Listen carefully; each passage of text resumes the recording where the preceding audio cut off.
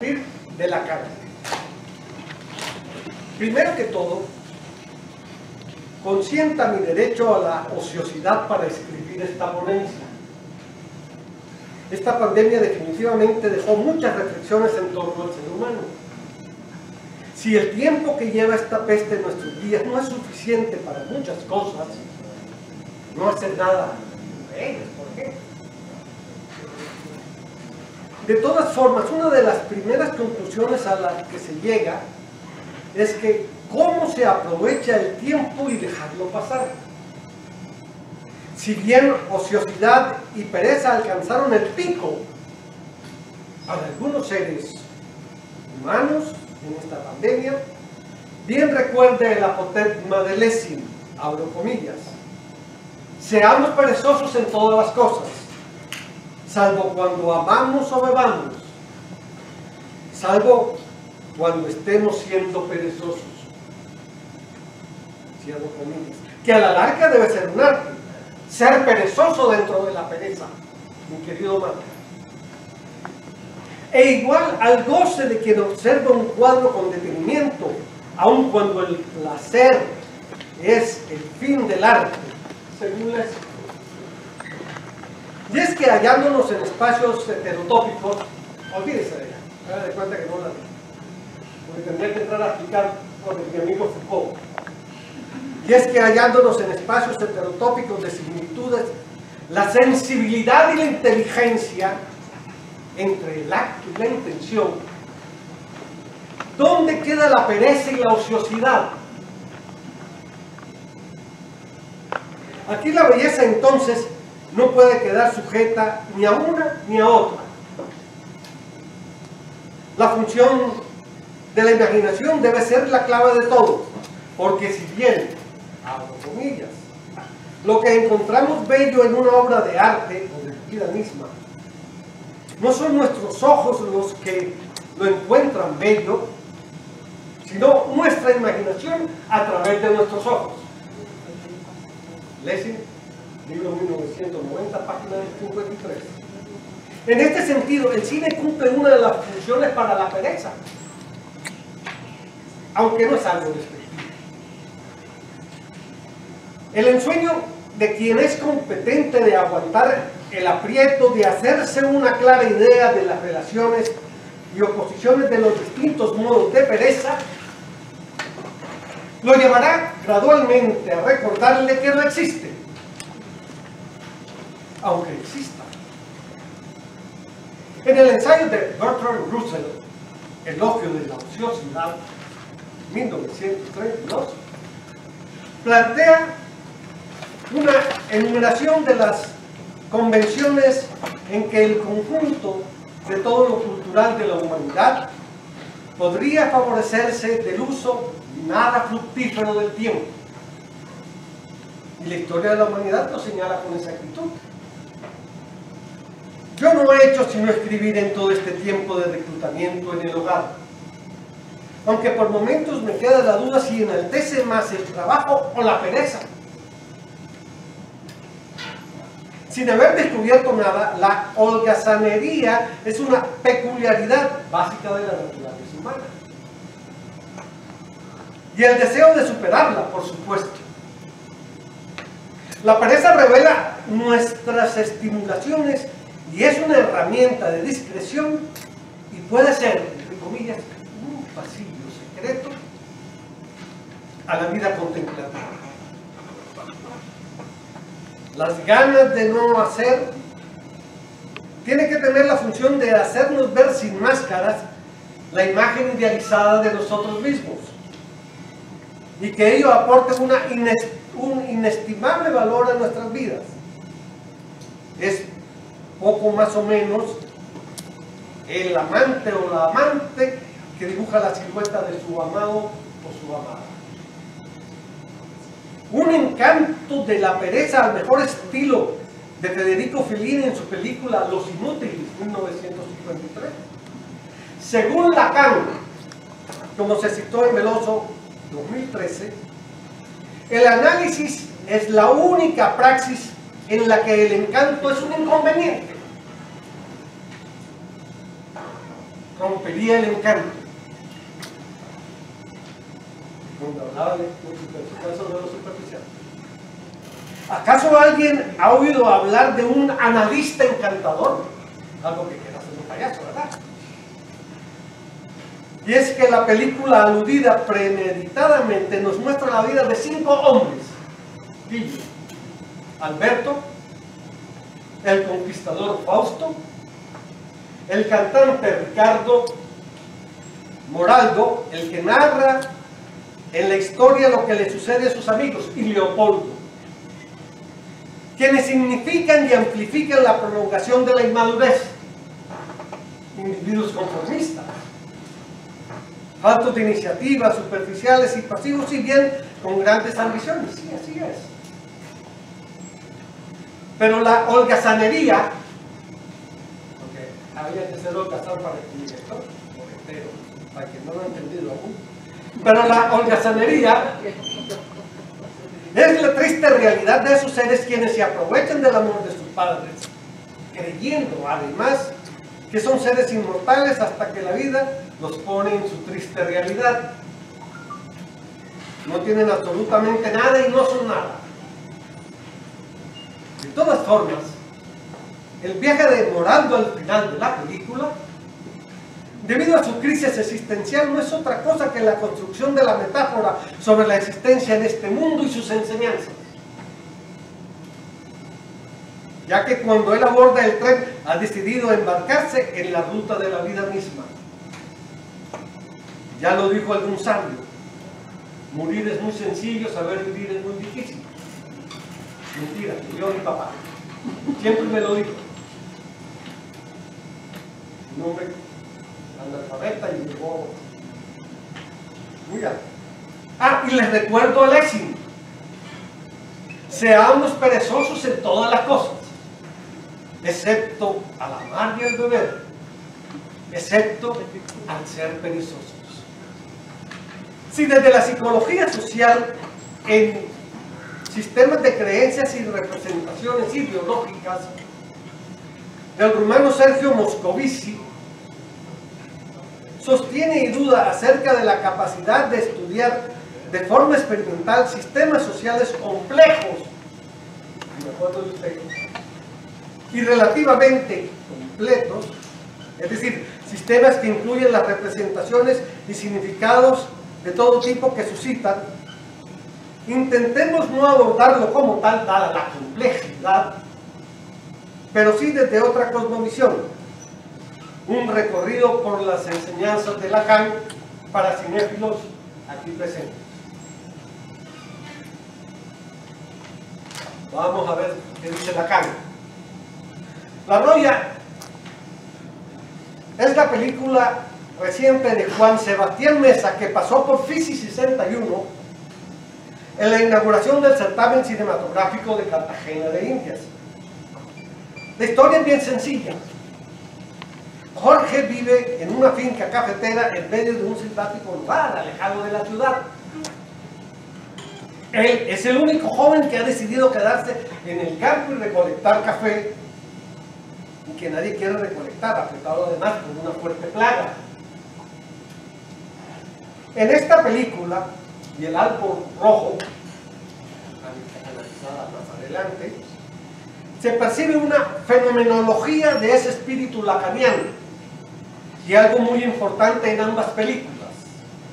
El otro, que con mayúsculas no hace referencia a ningún ser humano, sino a un lugar simbólico. Eso es importante.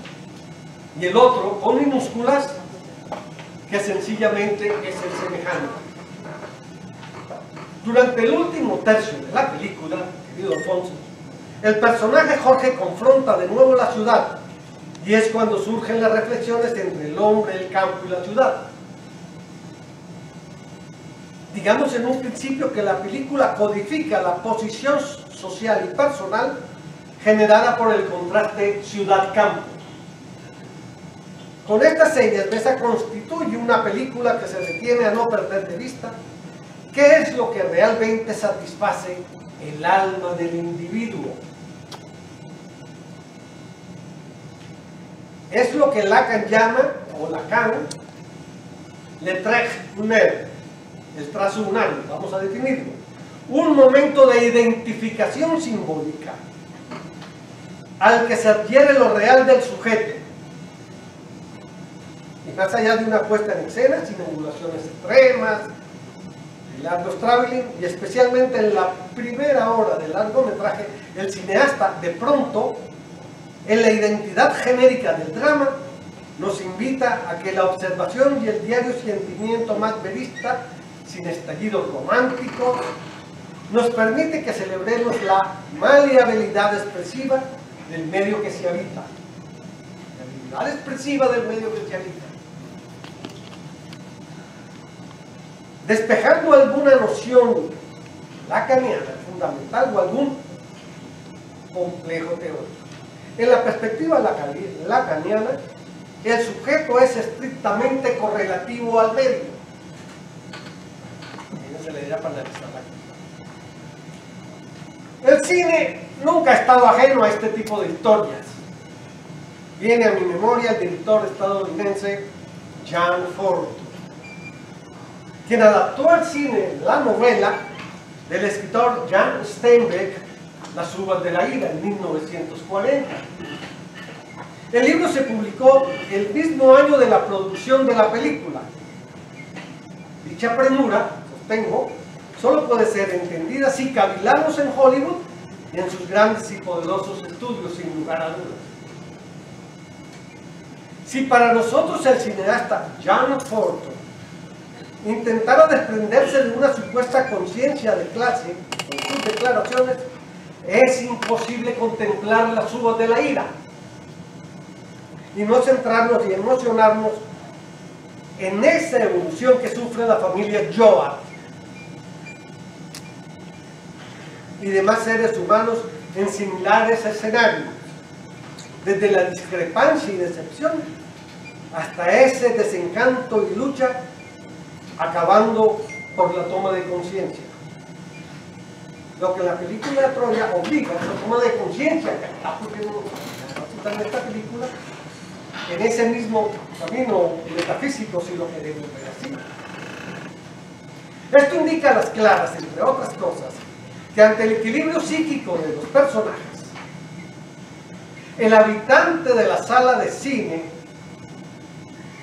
quería ver, no, ahí me, me, me, había terminado con, con las uvas de la, la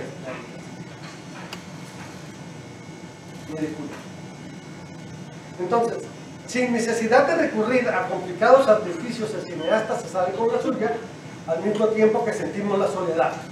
Nuestro personaje no experimenta una desconexión con lo propio, con lo que siempre ha pensado como suyo y tratado como tal.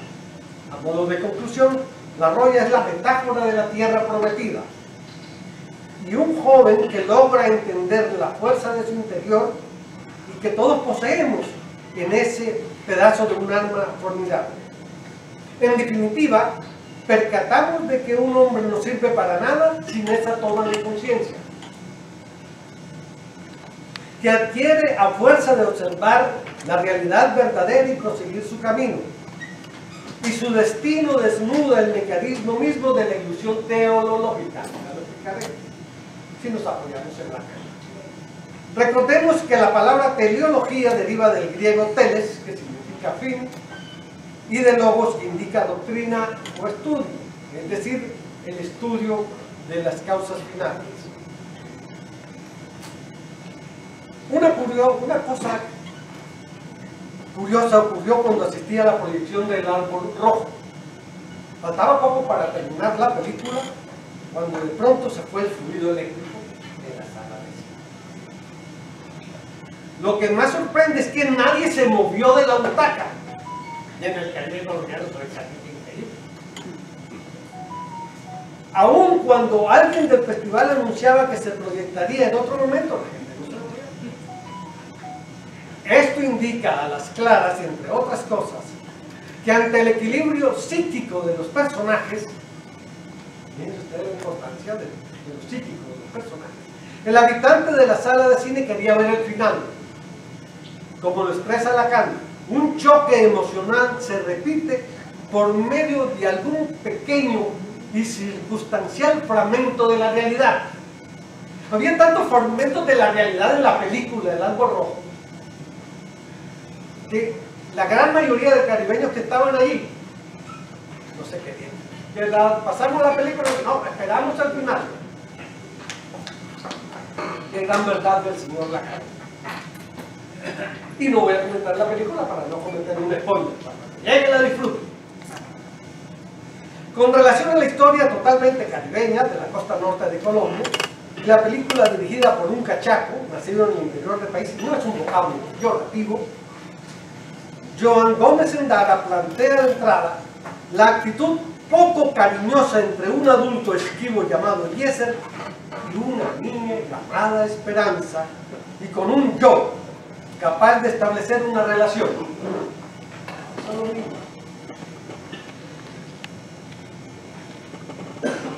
En un viaje en apariencia a ninguna parte, a pesar que la niña interfiere en la vida de los adultos.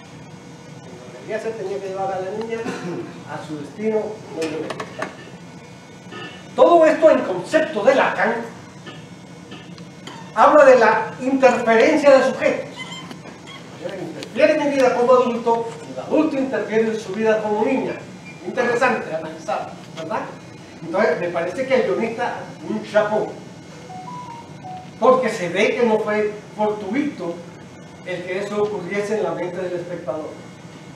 Entonces, repito, todo esto en conceptos de Lacan habla de la interferencia de sujetos, de inmixing. En francés existe el término inmisión, cuyo significado es acción de inmiscuirse, meterse. Eso es la película. En la larga dos personajes diferentes generaciones se inmiscuyen en el uno en el otro. Con base en lo anterior, a mi modo de ver, existe una forclusión, término utilizado por Lacan en psicoanálisis para describir que algo ha sido excluido de nuestro omnisciente. Algo ha sido excluido de nuestro omnisciente yo lo he verificado aquí, en adultos. Es que ya viejo se me dio por estudiar el cerebro.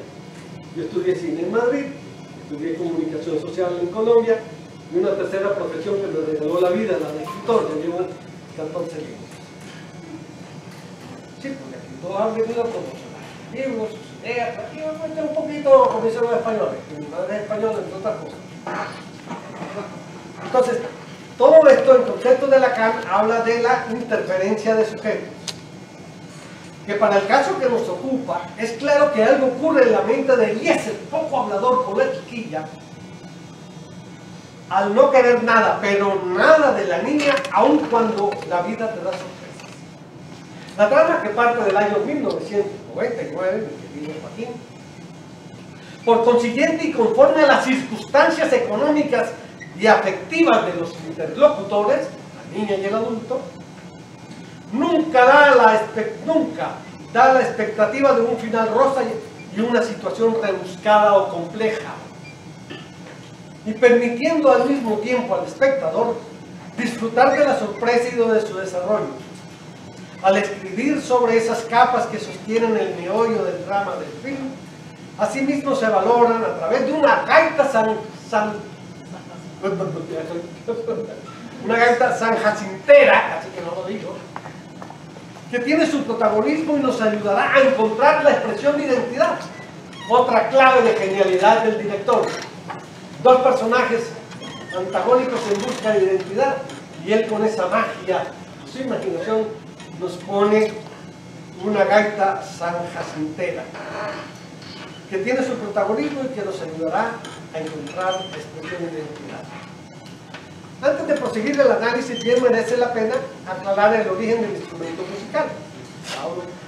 la persona que lo dice, en sus inicios el instrumento era demasiado, era denominado, perdón, puisi. Este tipo de música pertenecía a la gente de clase humilde y era repudiada por las personas de clase alta. En este tipo de música de indígenas, obreros y en general la gente común contaba sus vivencias y situaciones. Fíjate tú. Entonces el caribeño, que sabe lo que es una gaita de San Jacintera, ya sabe quién es Thor. ¿O cuál es la identidad de esos personajes? Eso está clarísimo en la película. Yo que soy caribeño, pero cualquier ser humano lo percibe intimadamente. Una gaita en consecuencia y que en la película como metáfora a la larga que es, nos permite entender las vivencias, si bien no se observa pero se entrevé, de una niña y un adulto, ya que son las clásicas intuiciones de una omniscencia narrativa importante, que confiere una verosimilitud entre la presencia y o ausencia de otro ser querido no obstante, pensemos que siempre todo está por suceder. ¿Dónde están los padres de la niña? ¿Dónde están los padres del adulto? ¿Ya? ¿Qué interpretamos? Bella propuesta cinematográfica. Ya. No, ya es una Bella propuesta cinematográfica en consecuencia tanto por su narrativa como por sus estéticos compases musicales y desde miradas y gestos que evocan difusas arengas de un parco Eliezer, al igual que su destello en una vida protagonista y anodina, conmovedora por momentos. Porque eso a el comienzo de hacer un chapeau a la pereza, aún dentro de la pereza, muy del Caribe, pero esa pereza la hago, ya, no le puedo contar más de 15 celebridades. Hasta planos concretos cargados de significado. Entonces surge la pregunta, ¿por qué la gaita en este contexto? Intentemos aproximarnos a ella. Si las representaciones sociales están estrechamente atadas con los denominados imaginarios colectivos que crean desde la interacción entre los seres humanos, según el psicólogo humano Moscovici, las representaciones sociales emergen principalmente en situaciones de crisis y conflictos. De conformidad con la teoría de las representaciones sociales de Moscovici, es viable pensar que los individuos transfiguren una significación en una imagen en un núcleo alegórico. Le tocaba ahí, le tocaba Esto explica, no solo en la película, por qué la música de gaitas o la pintura de las gaitas se transforma en la imagen que recuerda la casa o el pueblo para esos caribeños que está lejos. Se venga la obra de García Márquez. Lo anterior viene a propósito ya, ¿sabes?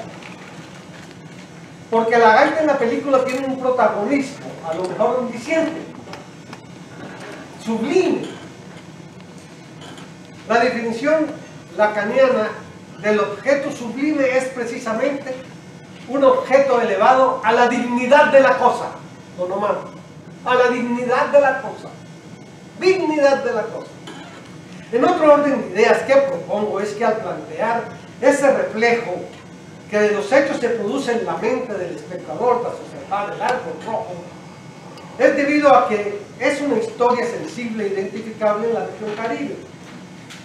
Muchas niñas Hoy mujeres han transitado en este camino lleno de incertidumbres y leí que la evolución del relato no huye de todo ese lugar común que es el Caribe y planteé una pregunta quizás enérgica en las mentes del espectador tras observar a Eliezer y a la niña desamparada. ¿Quién puede prescindir de quién en la vida que les puso en el camino? ¿Quién puede? Hágase usted la pregunta con su ser amado a su lado. ¿Quién? Pues la ¿Quién puede prescindir de quién en la vida que les puso en su camino?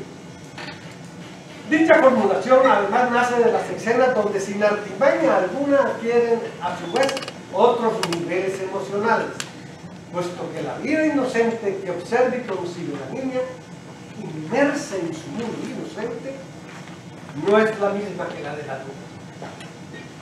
Ese otro nivel de análisis surge de la formulación, surge en otro nivel de análisis surge la formulación si estará aún dispuesto Eliezer a aceptar a la niña cuando ella tiene todos los motivos para dejarse amparar.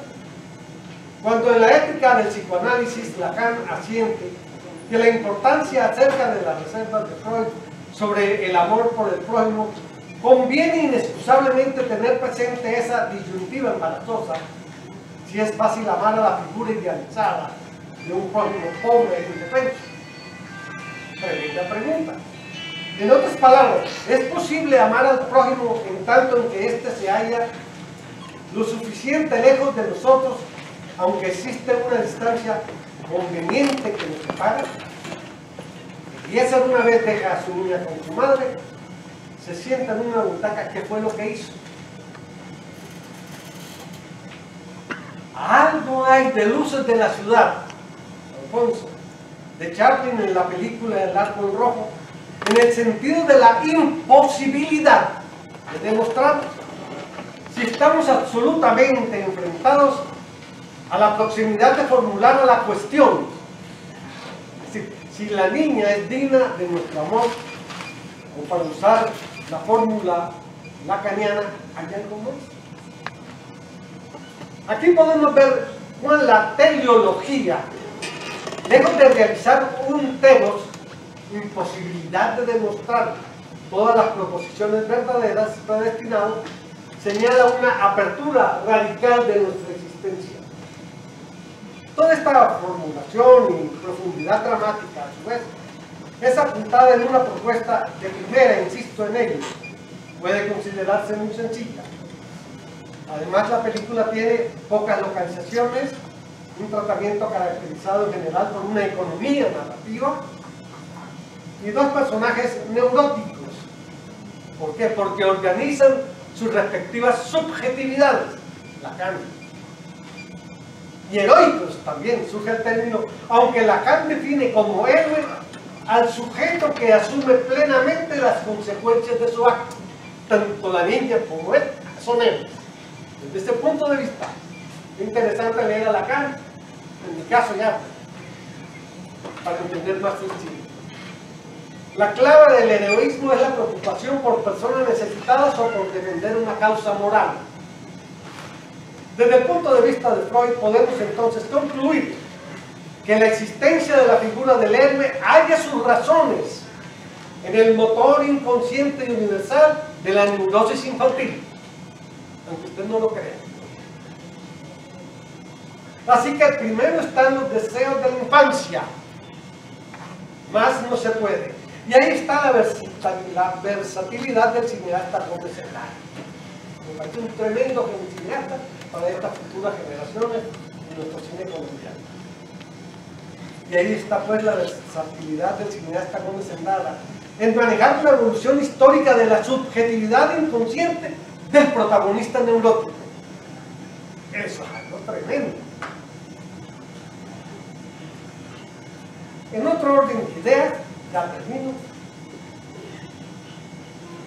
En otro orden de ideas, importan más ciertos silencios y algunas palabras entre los interlocutores.